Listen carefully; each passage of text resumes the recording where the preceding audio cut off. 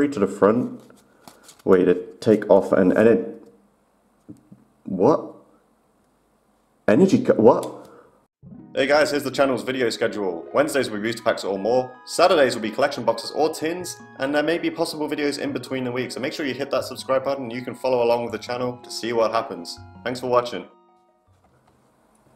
Full disclosure, this video is not intended to cause a witch hunt, it is simply here to call out the bullshit of certain channels and people who do fake giveaways and other things as tactics to gain subscribers for their channels.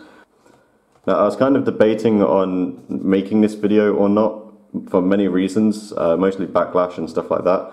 However, it's very annoying to see people within the community that we are in to do with Pokemon cards and they're taking advantage of people's naivety to promote themselves. It's very scummy and it's a stupid thing to do. Purely basing this speculation of this video on another channel that I saw who spontaneously opened a Hidden Fates booster pack and pulled a God packet. Now, not only did they pull a God packet for Hidden Fates, which by the way is impossible, uh, I'll get to that later, uh, they also pulled the Charizard in that video, the, the Shining Charizard, prior to apparently giving one away to their fans. A quick Google search will show that this guy is the only person ever to have opened one of these.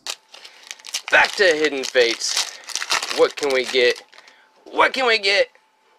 There's a code. One, two, three, four to the front. And okay. Uh uh, I don't even know. Uh, my heart is beating so hard. I don't. Lycanroc GX.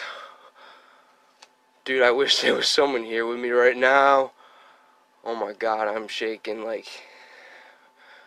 Dude, my my heart is up in my throat.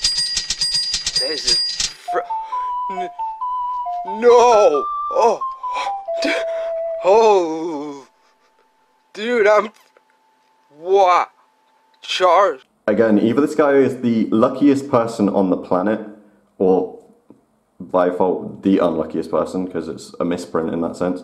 However, it's just absolutely bullshit. It's not true. And people need to stop believing this. Now, it's clearly obvious that it is faked. Anybody with a fully functional brain will be able to understand that. I don't mean that offensively to the people that fell for it. It's just the simple facts.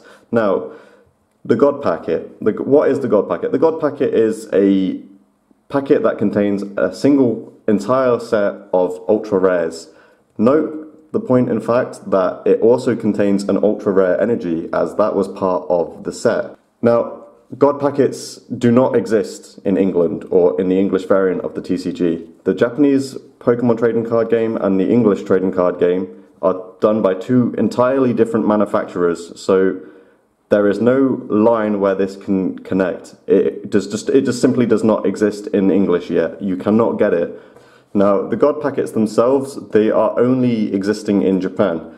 They only exist within the Japanese set Tag Team All Stars. They do not exist in Hidden Fates. They do not ex exist in Cosmic Eclipse. They do not exist in anything before Tag All Stars was released because Tags All Stars is a current set that was released after these sets.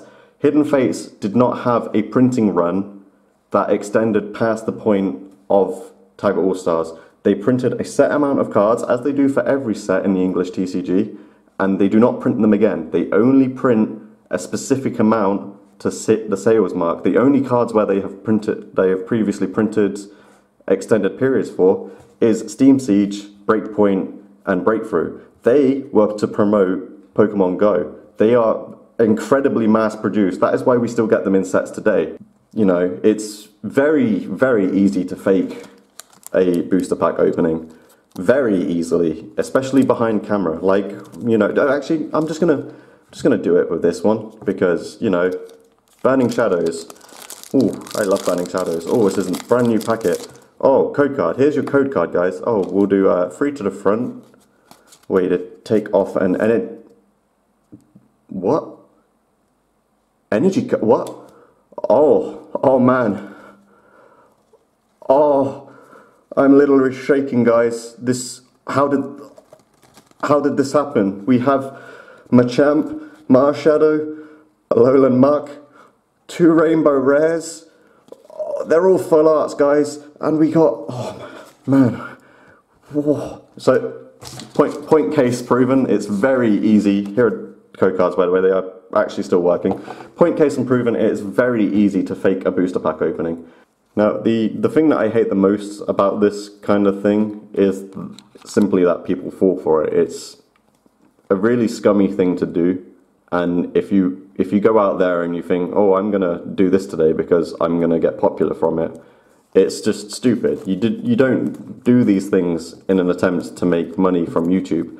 Most people do this because they enjoy doing it. It's really it's a really stupid thing to do when there are people in this community who aren't actually children and they do understand how the trading card game concept works and how the booster packets work. This is a very different video from what I was what I normally do, of course, but I just kind of needed to get this out because it's something I've been thinking about for a while now. Um, I still get notifications from this guy loving and unloving my comment that I left on his channel, calling him out for his bullshit, which is kind of sad because it's an attempt at getting me to come back to his video. However, now that I've done this video, he's probably gonna, if anyone even watches this, they're probably gonna get picked up on for that same reason.